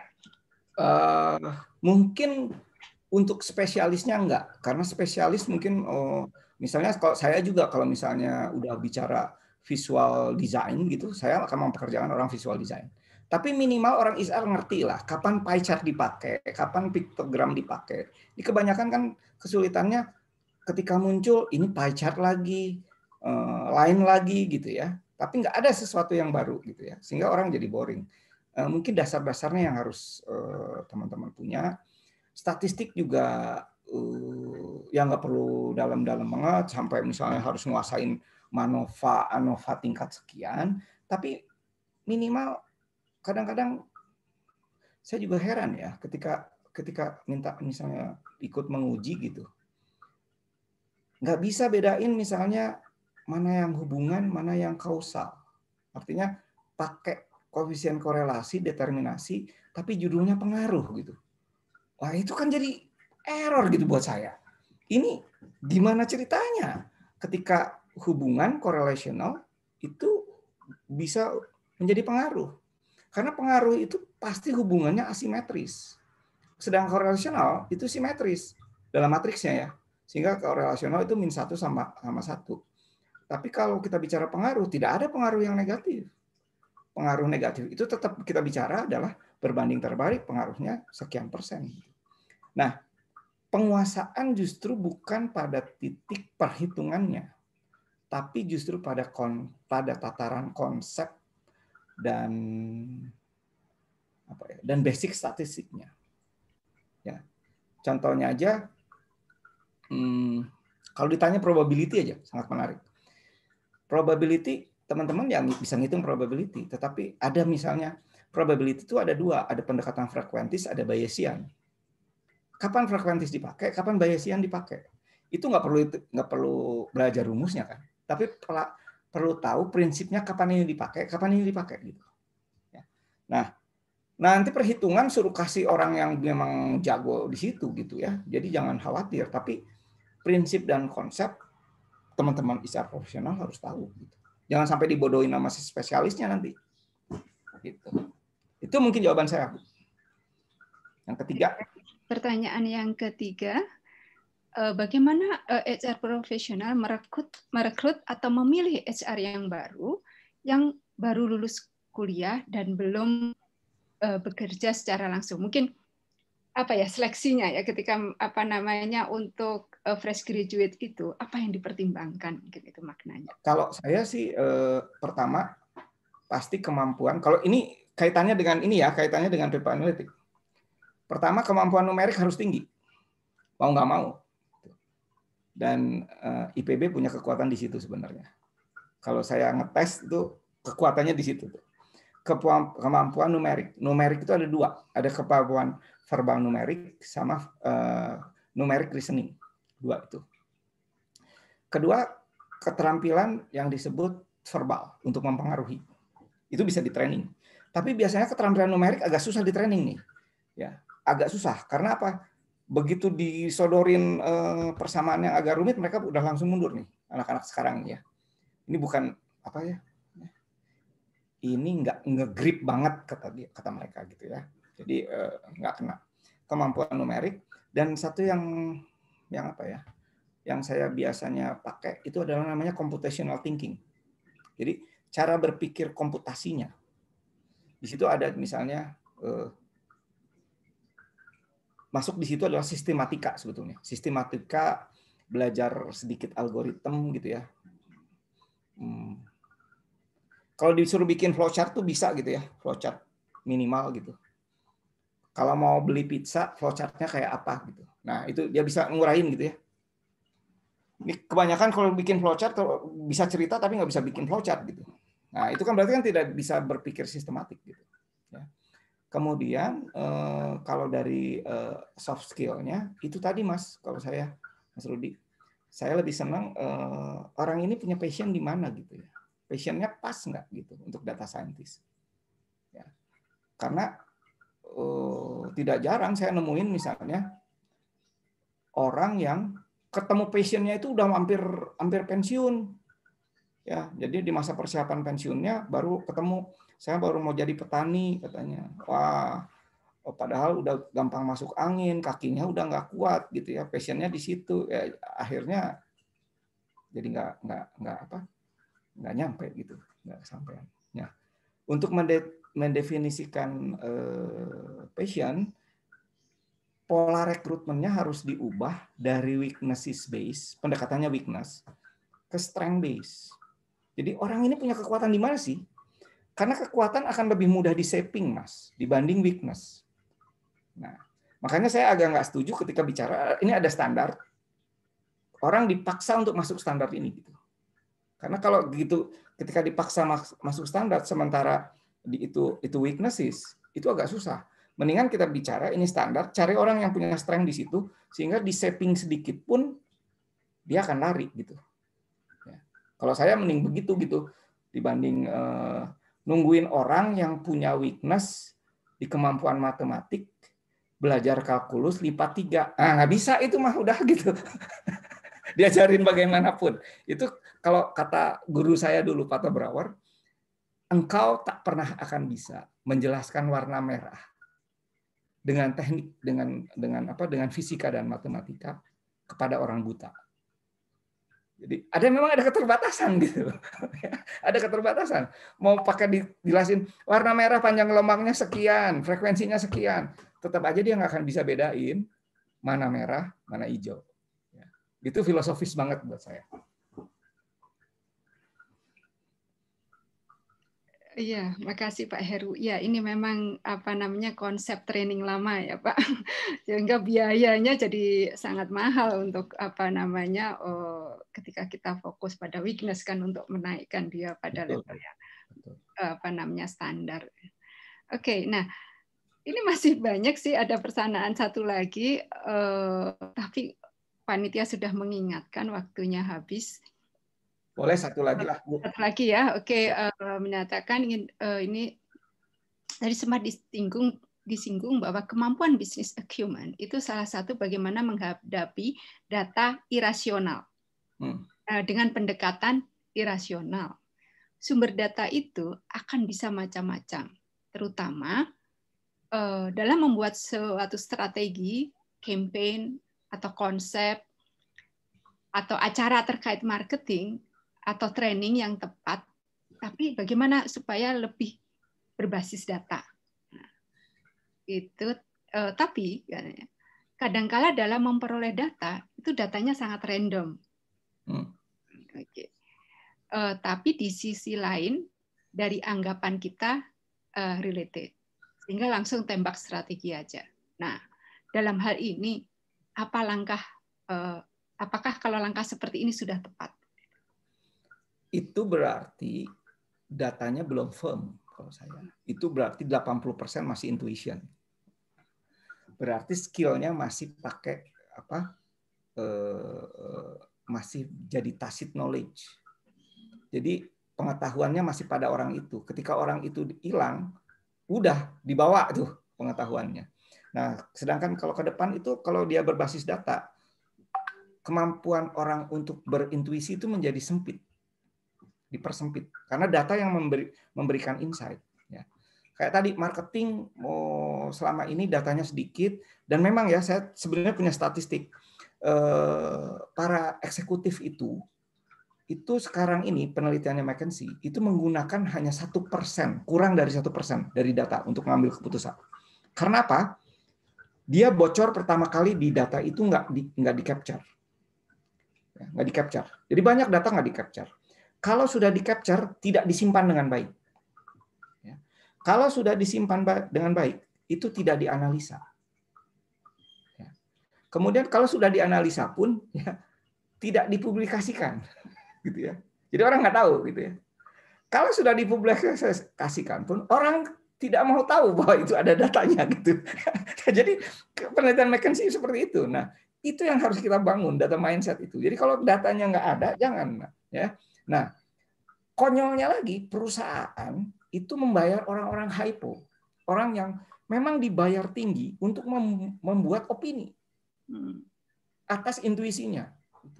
Jadi kalau udah saya kadang-kadang jengkel juga gitu, saya udah pakai predictive analytic dengan data yang oh, begitu solid, datanglah si orang hypo ini, gitu ya, hypo beneran ya, bukan hypo hypo kudanil gitu. Pak Heru, Anda menerangkan dari A sampai Z tapi pengalaman dan intuisi saya mengatakan itu salah semua. Harus 10%. Mari kita ikuti intuisi saya. Itu penjelasan saya semua langsung hilang gitu. Nangkap ya? Iya. Kenapa? Ya karena hyponya tadi gitu. Dan dia punya power gitu. Kalau saya bilang kalau udah begitu ya saya dibayar mahal tapi ya uh, tidak dipergunakan dengan baik gitu. Nah, uh, itu nggak terjadi sekali dua kali loh, oh, Bang Reni. Saya udah sering sering banget kayak gitu. Bahkan di perusahaan yang digital sekalipun, gitu ya. Eh, ketika meeting, saya ditanya mana laporannya, kok belum dimasukkan? Saya sudah kirim Pak bentuknya PDF. Oh tidak, Anda harus bikin hard copy. Ke mana bisa saya kuat katanya di depan oh. screen. Ya, ya. Ini perusahaan digital, saya bilang gimana ceritanya ya. Jadi digital mindset itu memang susah untuk untuk untuk untuk apa ya kalau tidak dilakukan dengan terus menerus itu akan susah sekali gitu ya jadi kalau buat saya eh, tadi perusahaan harus punya semacam digital apa ya eh, harus punya platform untuk merubah eh, mindset orang yang tadinya intuition driven itu ke data driven gitu ya karena itu tadi balik lagi marketing kalau intuition terus orangnya pensiun susah gitu kita jelasinnya gitu ya. Jadi buat saya sih ya itu tantangan gitu. Tantangan banget untuk membuat itu menjadi uh, uh, data driven. Mungkin itu Bu Anggreni jawaban saya. Ya, baik, ya. Jadi eh, teman-teman uh, sekalian, jadi memang harus bermula dari yang muda ya Pak, dan sudah apa data driven mindset itu uh, harus dibangun. Exactly. Uh, apa namanya? Ya kalau yang sudah sudah X sudah ini ya sudahlah apa namanya kita mulai dengan yang uh, apa namanya yang baru saja karena apa namanya ini uh, jadi teman-teman uh, banyak apa insight yang kita bahwa tadi ya uh, maka uh, data driven mindset ini menjadi sangat penting. Nah, statistika uh, basic uh, tetapi beyond itu adalah story ya apa namanya storytellingnya. Dari jadi kok sudah punya data sudah punya ini kemudian apa pemaknaannya? Nah ini teman-teman apa namanya dan tadi tantangan dari Pak Heru ini juga masih ke depan ya bahwa statistika apa namanya deskriptif kemudian uh, regresi linier. Nah ini harus uh, kemudian berkembang dari atribut menjadi prediktif. Ya tadi kan banyak sebetulnya uh, translog ya logistik puasong itu sudah banyak juga disampaikan oleh teman. Kebetulan apa namanya juga departemen statistik sekarang juga sudah ber apa namanya berkembang namanya menjadi statistika dan uh, sains data Pak Heru. Nah, betul. Bagus tuh. Betul. Dan mahasiswa punya ruang apa 20 SKS. Jadi dengan di kurikulum baru jadi K20 20 itu ada 20 SKS di mana dia bebas hmm. mengambil mata kuliah di dalam IPB di luar eh, apa prodinya atau bahkan boleh di luar IPB. Nah ini mahasiswa yang perlu apa namanya memanfaatkan dengan baik apa namanya peluang ini untuk mendesain dirinya. Jadi apa nanti tadi apa namanya eh, Rudi, tadi ya bahwa tadi boleh karena apa namanya supaya dia membangun. Karena sekarang eh, lulusan itu eh, teman-teman sekalian lihat di apa namanya di kurikulum yang baru, memang ini transisi. Kan bahkan lulusan IPB itu harapannya adalah menjadi powerful agile learner. Wah, sip tuh. Nah, Bagus banget katanya. Bangunlah kompetensi kompetensi Anda.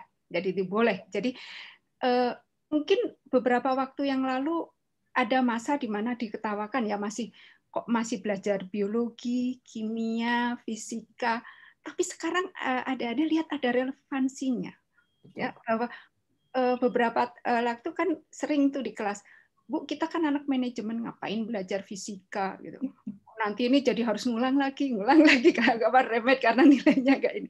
Tapi di situ yang dibangun teman-teman uh, sekalian apa namanya karena ilmu menjadi tidak terkotak-kotak ya Pak Heru ya. Sekarang itu apa namanya ekonomifisika itu sudah jadi. Nah, manajemen juga akan menuju karena kita berangkat eh, tadi apa apa namanya eh, Pak Heru menyampaikan bahwa eh, data relation ini adalah tadi yang dilihat akan menjadi sosial capital bagi perusahaan. Nah, ini ya apa namanya ini eh, transformasi dari ekosistem menjadi ekosistem. Nah, itu kan apa namanya eh, clue-clue yang disampaikan.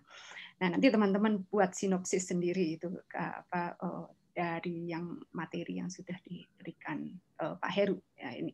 Kami juga sekarang salah satu tugasnya misalnya tidak hanya apa namanya paper juga tetap penting karena tadi sistematika tadi ya uh, apa namanya membangun apa kerangka berpikir yang sistematis tapi juga ada tugas membuat infografis kan ya yang oh, ya. ya jadi bagaimana ide menuangkannya dalam bentuk poster orang jadi sekali lihat itu apa sentral ide anda gitu ya itu apa namanya itu juga. Ini nah ini.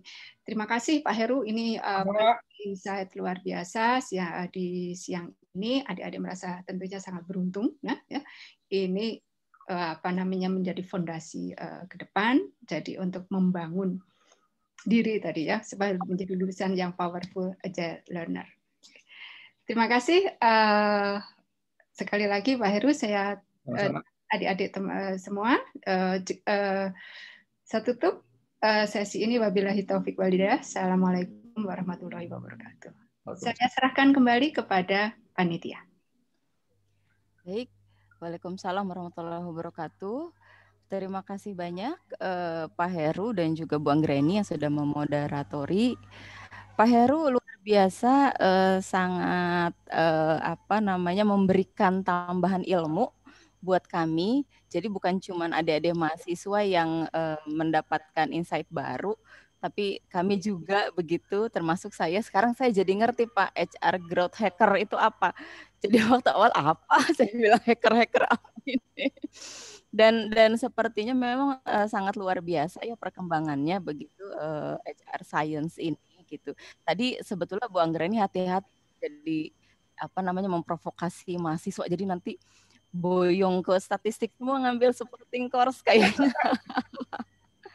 Rasanya sih mahasiswa yang ada di sini kayaknya passionnya ke sana ada semua Pak Heru. Yeah. Gitu. Jadi terlihat dari pertanyaan-pertanyaannya begitu e, rasanya bukan hanya sekedar menanyakan hal-hal yang sifatnya apa namanya e, definisi, pemaknaan, tapi sepertinya dari pertanyaan-pertanyaannya juga lebih kepada implementatif juga gitu. Jadi e, sepertinya ini uh, sangat uh, bagus sekali begitu dan rasanya mungkin Buning lain waktu kita boleh uh, mengundang beliau lagi nih Pak Heru mungkin ya berkenan ya Pak Heru ya. Enggak, enggak. Alhamdulillah, alhamdulillah rasanya juga mungkin bukan cuma di di uh, eh, MSDM kali Buning. Mungkin nanti kita bisa buatkan lagi sesi khusus sehingga uh, apa ilmu ini tidak hanya didengar oleh 160-an tadi, tapi juga bisa lebih luas lagi didengar oleh mahasiswa kita. Mudah-mudahan Pak Heru berkenan ya Pak nanti enggak, kita book, booking lagi jadwalnya ini melalui Buning. Enggak, enggak, Baik, alhamdulillah jika demikian. Pak Heru sekali lagi atur non pisan atas waktunya, sharingnya, dan juga tentu insya Allah akan sangat bermanfaat bagi kami. Untuk itu kami ingin menyampaikan sedikit apresiasi uh, walaupun sifatnya uh, intangible nih Bapak nggak bisa dipegang. Kan katanya digital ya Pak sekarang. Ya, ya, sekarang zamannya digital. Digital, jadi sertifikat juga e-sertifikat. Kemudian eh, apa namanya? Nah, ini juga i apa nih? E-picture apa? E-picture. Wah, ini Pak Heri ala, ala, ala, ala ketemuan sama teman-teman startup gini ya Pak ya gayanya ya Pak ya. Oh iya. Iya, kalau sama startup emang emang apa susah kalau formal bu mereka iya, iya. mau gitu. Iya, padahal kita tadi baru ngingetin ya Buning, ada mahasiswa kita pakai kaosan, eh ganti dong pakai berkerak. Nah, gitu. Pengajarnya pakai kaos. gak apa-apa, Pak, gak apa-apa. Nah, eh, teman-teman panitia dapat foto Pak Heru, balik ke yang tadi boleh kali ya, saya masih masih pengen iseng komentarin Pak Heru nih. Foto dari mana ya? Saya lagi nyamain gitu, rambutnya beda. bajunya beda. Tapi ini benar Pak Heru ya Pak? Benar benar. Ini benar, ini waktu saya ngambil ini waktu ngambil course di uh, Maastricht kalau nggak salah. Oh begitu. Tahun-tahun berapa tuh Pak? 2000 2010-an. Oh sudah lama pantesan. Lama. Oh, ya, itu masih still yang lah. Sekarang udah uh. udah still Silya tapi yang yang yang, yang demikian yang, gitu. yang mana pak? Yang demikian gitu. Baik sekali lagi Pak Heru terima kasih banyak atas ilmunya. Dan juga Bu Anggraini nih makasih banyak Bu Ning. Sudah eh, sangat eh, apa namanya menyambungkan gitu ya memoderatori tadi dari paparan tadi. Tapi kayaknya memang hari ini khusus Pak Heru aja yang ada karikaturnya Bu Ning. Nggak apa-apa ya karena spesial buat Pak Heru ini. Memang lagi Kuning dan Pak Heru. Dengan demikian mungkin uh, saya bisa akhiri sesi kita pada Sabtu sore ini dengan foto bersama. Mangga, mangga panitia, siapa yang akan memimpin? Ya Bu. Sebelumnya suara saya terdengar ya Bu? Terdengar. Ya, terdengar, terdengar. Iya silakan kepada teman-teman partisipan dinyalakan dulu kameranya karena akan ada sesi foto bersama.